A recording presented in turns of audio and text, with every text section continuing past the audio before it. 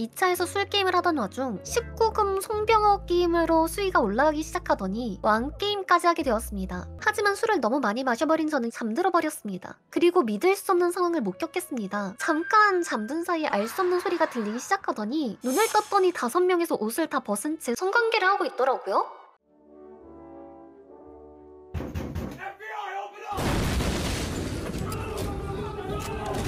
구독을 누르지 않으신다면 잡혀갈 수 있습니다. 저 여자 아, 아, 조심해야 아, 아. 여보세요? 저목 쉬었어요. 아왜 뭐하다가? 어제 너무 빡세게 스트레스. 아. 저 이제 도핑팀 야디오가 벌써 19회차가 되었습니다. 정말 수많은 게스트들도 있었고 또 저희끼리 똥꼬쇼 하는 경우도 많았지만은 여러분들의 응원이 있었기에 가능했던 일이지 않을까. 오늘의 게스트분 뭐라고 설명 소개 부탁. 뭐라고 설명해 드려야 되지? 브이로그의 아이돌! 브이럽의 아이돌 이 주인님 모셨습니다. 그러면 오늘의 도피팀 사연 상담소 진행해 보도록 하겠습니다. 자 첫 번째 사연 주인님께서 읽어주실 예정입니다. 여러분 혹시 catfight라고 아시나요? 저는 참 특이한 취향을 갖고 있어요. catfight. Fight라는 장르를 좋아해요. 캣파를 모르시는 분들을 위해서 간단히 설명드리자면 여자 둘이서 머리채를 잡거나 때리면서 싸우기도 하고 가슴을 서로 맞대며 trash talk을 하기도 하며 짓누르기도 하고 서로 음을 애마하며 오르가즘을 먼저 느끼는 사람이 패배하여 상대 여성으로부터 능욕을 받는 그런 느낌의 장르입니다. 예를 들어서 뭐 비니년 주제에 나대네? 이런 거. 아쉽게도 한국은 이런 문화는 거의 없다는 것입니다. 외국은 찾아보면 이런 문화가 꽤나 발전되어 일반인들끼리 대결하는 모습을 찾아볼 수 있는데 한국은 거의 없기도 하고 대결 상대를 구하는 것 자체가 거의 불가능에 가까워요. 그러다 보니 내가 이상한 건가 싶기도 하면서도 대결하고 싶은 생각은 불타기도 하고 하루하루 참 고민이 많아요. 어떤 날은 이런 취향을 바꿔보고자 노력도 해보고 끊어보기도 했지만 다 실패했어요. 심각한 거는 이쪽 세계에 입문한 지 중학교 때부터 약 10년 정도가 되었는데 이쪽으로 상상을 안 하면 물이 안 나올 정도로 캐파에 극도로 중독되어 있는 느낌이에요. 전 남친들과 할 때도 일반 면 저만 금방 말라버렸어요. 그래서 조금이라도 더 느끼고 싶어서 내기를 하거나 하는 방식도 많이 도전해봤습니다. 자기야, 나랑 내기 하나 안 할래? 갑자기 내기? 응, 응. 누가 먼저 오르가즘 느끼나 이런 걸로 대결하자. 어 그래? 그래 한번 해보자. 이런 식으로나마 조금씩 풀어왔지만 그것도 한계가 있네요. 어떻게 이런 성적 취향을 바꿀 수 있는 방법이 있을까요? 아니면 그저 상대를 찾으러 네카마밖에 없는 커뮤니티에 여자를 찾을 때까지 계속 두들겨봐야 할까요? 여러 번 도전을 해봤는데 대부분 남자애들이 장난치는 경우가 많더라고요. 참고로 해외로는 못 나가는 몸입니다. 들어주셔서 감사합니다. 시청하고 계신 마이너 취향 갖고 있는 분들 다들 힘내세요. 좋은 의견들 많이 기다리고 있겠습니다. 근데 저는 네네. 되게 일반적인 취향이라고 생각해요. 뭐라고요? 특이하진 않지 않나? 일단 인간 대 인간이라는 것 자체가 그렇게 특이 취향은 아니긴 하죠. 사실 이 정도로는 뭐 그렇게 크게 걱정할 정도는 아닌 것 같긴 한데 이 사람의 걱정은 이거를 어떻게 해소를 해야 될지를 궁금해하는 거잖아. 근데 이거는 여자끼리 만나는 커뮤니티 가면은 해결을 할 수 있지 않을까 싶은데. 근데 그런 커뮤니티가 문제는 뭐냐면 함정들이 존나 네. 많아요. 제가 가봤다는 건 아니고요. 그러니까 들은 썰로는 어 어떻게 아시나요? 그걸 근데- 과형이 어찌하시오? 근데 그런 함정 카드는 마이너 장르를 파는 사람에게는 어쩔 수 없는 숙명이라고 생각을 해요. 근데 그걸로 인해서 이제 좀 트러블이 많이 생길 수 있죠. 왜냐면 범죄에 좀 노출이 되는 경우도 많고 진짜 여자인 척했지만 막상 나가면 또 남자가 있는 경우도 있다고 하는 경우도 되게 많았음. 만약에 음. 그게 구할 수가 없고 이런 성적 취향을 바꿀 수 있는 방법이 있을까요? 라고 하시는데 음. 실제 행위를 할 때 그거를 하지 않더라도 그런 류의 야동을 틀어 놓고 한다든가 음, 아니 쎄 하면서 텍파이터는 장르를 틀어놓고 하라고요? 네. 아니 걔 아니, 뭐- 어지러운데 진짜. 어쨌든 본인은 그거를 보면서 어느 정도 흥분할 수 있을 테니까 음, 오타쿠 입장에서는 충분히 이제 서로 취향을 주고 받으면서 하는 편인 것 같아요. 이제 오늘은 이거 하고 싶으니까 나한테 맞춰줘. 하고 이제 그 다음 날에는 상대방의 취향에 맞춰주고 그런 식으로 보통은 진행을 했- 하는 것 같아서 어 근데 내가 궁금한 거는 전 남친이 있었다고 했잖아요. 이 catfight라는 장르가 여자 남자끼리 싸우는 것도 가능한 거야? 근데 위에 아예 여자 둘이서 머리채를 때리면서 싸운다고 이렇게 아 그러네 음, 그러네. 그래 하기야 야 여자랑 남자랑 갑자기 catfight 한다 그러면 그건 진짜 그냥 데이트 폭력이잖아 그냥? 자기야 나 오늘 catfight 하고 싶어 한 다음에 남자친구 머리털 끄덩이 잡았는데 남자친구가 오케이 하고 진짜 턱주가리 날리면은 오케이가 됐네. 개어지러운데? 네. 아 딸딸이 문제. 아 참고로 첫 번째 문장이 이제 안녕하세요 저는 02년생 평범한 남성인데 평범하지 않으세요 이 얘기 꼭 하고 싶었습니다 안녕하세요. 저는 02년생 평범한 남성입니다. 제 가장 큰 고민은 첫 야동을 본 이후부터 딸을 존나게 친다는 게 문제입니다. 저는 야동을 비교적 또래 남자애들에 비해서 늦게 접한 고2 2019년 9월이었습니다. 음. 그 당시 기억이 맞다면 나라에서 야동 사이트를 차단하던 시기였을 겁니다. 오히려 그래서였을까 하는 개뿔. 갑자기 야동에 대한 관심이 생겨버렸고 이게 큰 고민거리가 되어버렸습니다. 늦게 야동을 접한 반동이었는지 저는 매일 딸을 치기 시작했습니다. 아 미안 아니 그냥 이 새끼 기승전결이 아니, 존나 그- 빨라 제가 좀 늦게 치긴 했는데요. 치기 시작했어요. 매일 쳤죠. 물론 단순히 매일 딸을 친다라는 거라면 고민이 되지도 않았을 겁니다. 가장 큰 문제는 고3 때는 학업 스트레스로 인해 두 달 동안 매일 딸을 여덟 번씩 하루도 빠지지 않고 쳤고 아니 난, 난 프로다. 두 달이 되어서야 결국은 제 고추가 아파서 이틀을 쉬기까지 했습니다.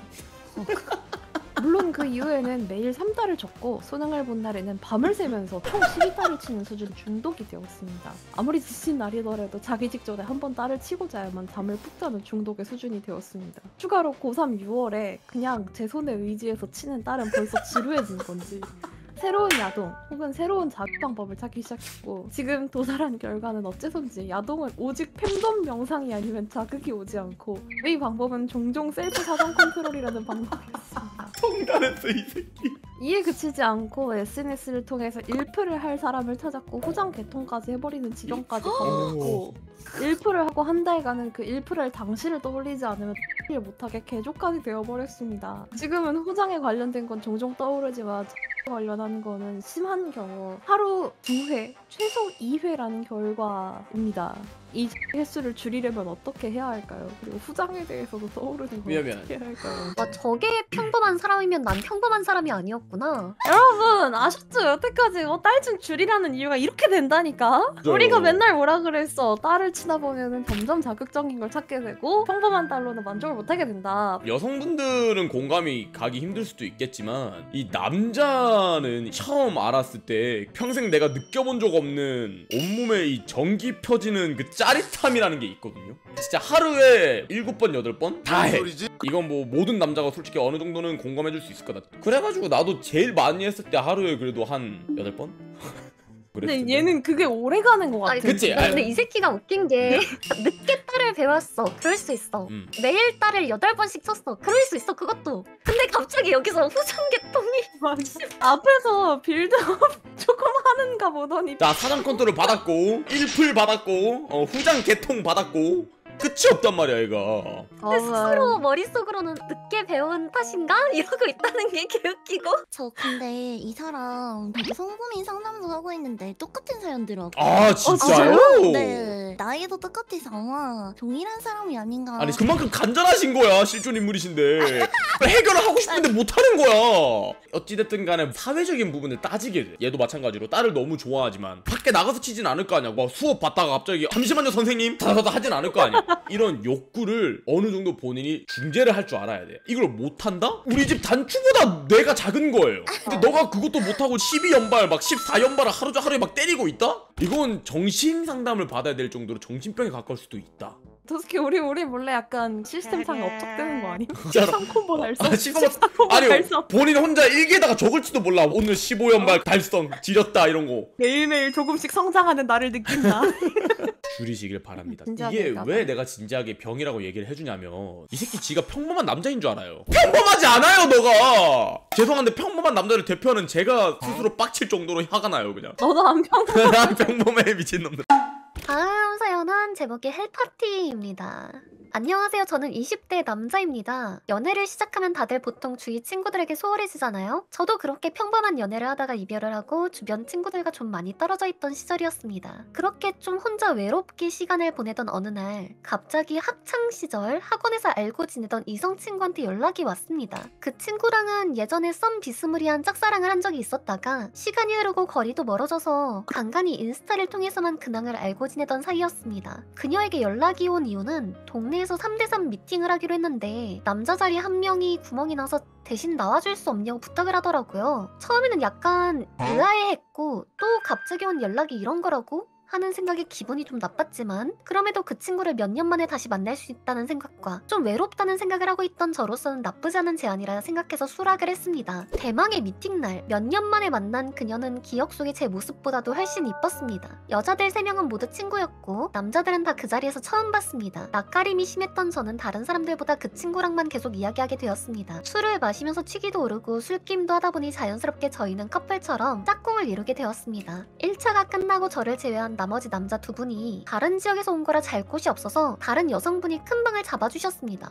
그리고 2차를 그 큰 방에 가서 편하게 술을 마시기로 했습니다. 2차에서 술 게임을 하던 와중 19금 손병호 게임으로 수위가 올라가기 시작하더니 왕 게임까지 하게 되었습니다. 처음엔 거절했지만 하기 싫으면 벌주 마시면 된다는 말과 다들 찬성하는 분위기라 어쩔 수 없이 찬성을 했습니다. 사실 그 친구와 다른 남자랑 스킨십을 하게 될까봐 많이 노심초사했지만 다행히 그녀는 다른 남자랑 걸릴 때마다 벌주를 먹고 저만 스킨십을 하더라고요. 물론 저도 그렇고요. 하지만 나머지 4명은 갈수록 수위를 올렸고 더 이상 술을 먹을 자신이 없어진 저는 아 마침 술이 다 떨어져 가니 그만하자 라고 말했고 저희는 영화를 보면서 아침까지 쉬기로 했습니다. 하지만 술을 너무 많이 마셔버린 저는 영화를 다 같이 고르던 와중 잠들어 버렸습니다. 그리고 믿을 수 없는 상황을 목격했습니다. 잠깐 잠든 사이에 알 수 없는 소리가 들리기 시작하더니 눈을 떴더니 다섯 명에서 옷을 다 벗은 채 성관계를 하고 있더라고요. 다들 취해서 너나 할 거 없이 서로를 물고 빨고 있었고 저는 차마 일어나진 못했고 눈을 감고 계속 자는 척을 했습니다. 그냥 이게 무슨 상황인가 싶기도 했고 술기운에 정신도 없어서 뭐지 시발? 하고 있을 때 잠깐 실눈을 뜨다가 그 친구와 눈이 마주쳐버리고 말았습니다. 못 봤겠지라고 믿고 다시 눈을 감았습니다. 다 마무리가 된 후 새벽이 되자 여자들은 모두 갔고 남자들은 방에서 잠들었고 저는 아침이 되자마자 바로 나갔습니다. 그녀에게는 아무것도 몰랐던 것처럼 잘 들어갔어? 라고 톡을 보냈지만 미안해 라는 답장만 왔습니다. 그리고 저를 인스타 차단을 했더라고요. 저와 그녀의 사이는 다시 되돌릴 수 없는 걸까요? 하룻밤에 일탈로 넘기고 살아야 할까요? 이게 사실 아닌가? 미팅이 아니고 여자애가 아 오빠 좀 스릴 있게 하고 싶지 않아? 아 나 학원 다닐 때나 좋아하는 애 있었는데 걔 불러볼까? 이런 그건- 거였을 수도 있지 않을까? 그건 너무 소재거리예요. 이 사람 같은 경우에는 마지막 질문들은 제가 고치진 않았어요. 이제 저와 그녀는 다시는 되돌릴 수 없는 걸까요? 네. 네. 다시 얘기해드릴까요? 본인이 정하는 게 아니에요. 이미 차단 당했잖아요. 하룻밤에 일탈로 넘기고 살아야 될까요? 본인은 일탈 아니었잖아요. 아니 인스타 차단 당했는데 그거를 자기가 뭘 나는 아무것도 못 봤어. 차단 풀어줘 이러면서 연락할 거예요. 아니 너무 그럼 아쉽다. 그때 왜 잤어? 그래 그냥 껴들지 그냥 그럴 바에는. 아, 나였으면 주섬주섬 옷 챙기고 나갔을 지 눈치 보여서. 뭐할 말이 없다. 그냥 넘어가시면 될 것 같아요 그냥. 아 고생하셨습니다. 짝짝짝짝짝 네, 고생했습니다. 재밌게 봐줘서 감사하고요. 저희는 언제 돌아올지 모릅니다. 확답을 드리지 않아요. 왜냐면 귀찮거든요. 언제 할지 오히려. 서로서로 정말 할 거 없을 때 또 돌아와서 인사드리는 시간을 가져보도록 하겠습니다 저희는